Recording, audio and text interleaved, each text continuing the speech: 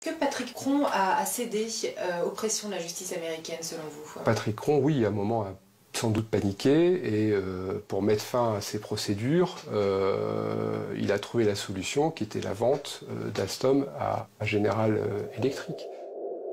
Le comble dans cette histoire, c'est que General Electric n'a pas payé l'amende comme promis. C'est Alstom qui a réglé l'ardoise de 630 millions d'euros. En France, l'affaire Alstom tourne au scandale d'État. Pourquoi le gouvernement n'a-t-il pas empêché la vente de ce fleuron industriel? Retour en arrière. En avril 2014, quand on apprend que General Electric veut racheter Alstom, Arnaud Montebourg, le ministre de l'économie, est mis devant le fait accompli. Pourtant, Alstom n'est pas une entreprise comme les autres. Elle vit de la commande publique. C'est l'État qui l'a sauvée de la faillite dix ans plus tôt. Pour Arnaud Montebourg, Patrick Ron, le PDG d'Alstom, l'a trahi. Et depuis le mois de février, j'interroge Monsieur Patrick Cron, président de cette entreprise qui est notre fleuron national. Et Monsieur Patrick Cron, alors que je l'ai interrogé dûment, solennellement et sérieusement, m'a toujours dit qu'il n'avait aucun projet d'alliance. Est-ce que le ministre de l'économie doit aller installer un détecteur de mensonges dans son bureau pour les présidents du CAC 40 qui n'ont pas le civisme élémentaire d'avertir leur gouvernement? Le défenseur du Made in France est furieux. Il veut empêcher la vente d'Alstom à General Electric. Il tente de trouver une solution européenne, un rapprochement avec l'allemand Siemens. Et surtout, il dégaine une arme inédite, un décret pour bloquer la vente.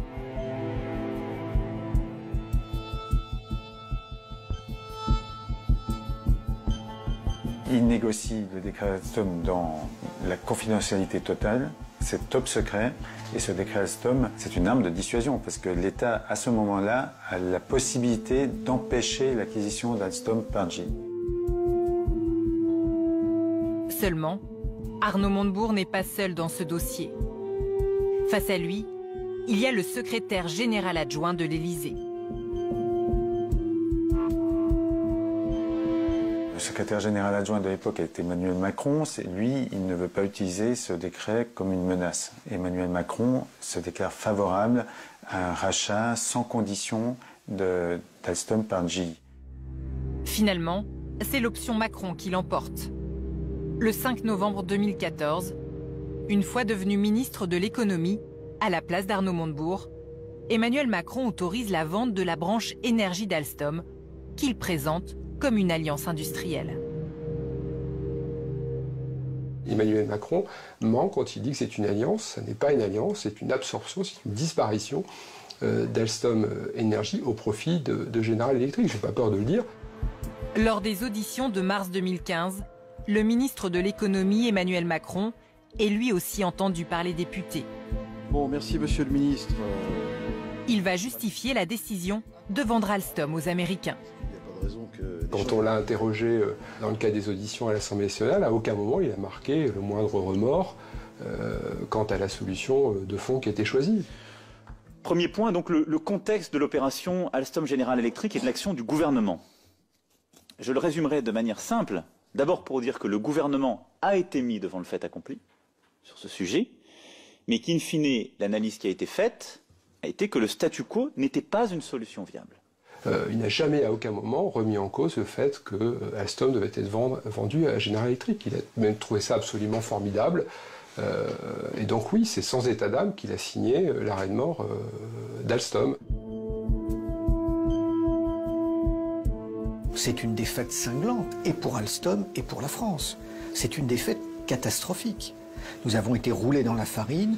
General Electric et les Américains ont eu absolument ce qu'ils voulaient, quand ils voulaient, et probablement en mettant moins d'argent et en rencontrant moins de difficultés que ce qu'ils avaient prévu. L'erreur de l'État français, c'est de ne pas avoir compris, et de ses représentants, c'est de ne pas avoir compris que la guerre économique est une réalité, et que les Américains font la guerre économique. Pour moi, c'est un scandale d'État au niveau de la France, mais je salue les Américains parce que je trouve qu'ils ont fait extraordinaire.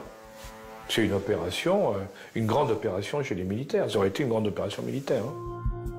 L'autre grand gagnant, c'est Patrick Cron. Le PDG d'Alstom quitte l'entreprise avec un bonus de 4 millions d'euros, en plus de sa retraite chapeau de 10 millions. Les perdants, les salariés.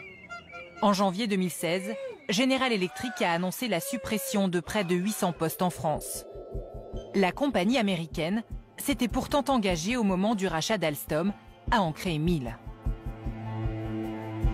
Moi, la seule question que je me pose aujourd'hui, c'est quelle est la prochaine entreprise française qui va être accusée de corruption et qui sera rachetée par les Américains?